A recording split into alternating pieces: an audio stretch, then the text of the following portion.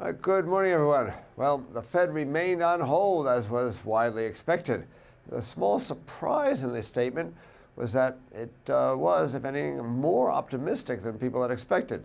The FOMC added a line about how housing has slowed somewhat, but at the same time, they took out the line warning about the possible impact of the tightening of financial conditions.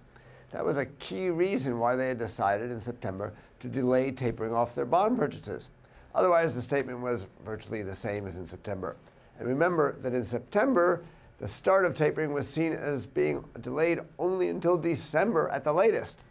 So, while the market has been expecting the Fed to remain on hold until March, uh, which is after the next round of debt ceiling negotiations, apparently there's still a chance that they could move as soon as December if the data allows.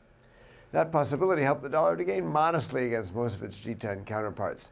Uh, the exception was the Australian dollar, which rose on uh, domestic domestic news. Building approvals in Australia grew five times faster than expected in, in September. Um, what surprised me about, about the dollar's reaction, though, was the small size of the move in the dollar. On average, so far this year, the high low range on eurodollar on FOMC days has been about 1%, and the absolute value of the change from the previous day has been 0.55%.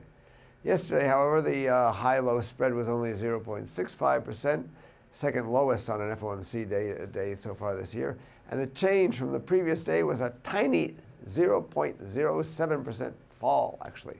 Uh, this is comparable only to last May when there was no change in the uh, bank in the FOMC uh, state and no press conference following it.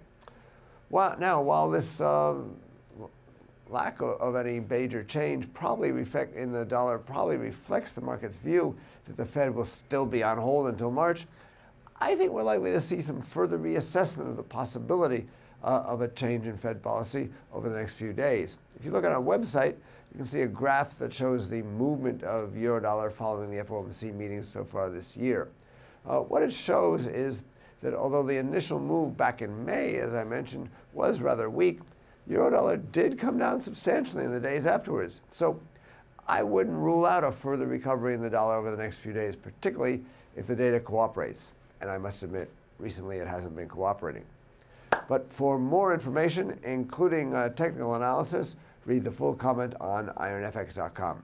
You can also like us on Facebook, follow us on Twitter, subscribe to our YouTube channel, or circle us on Google Plus to get more trading ideas.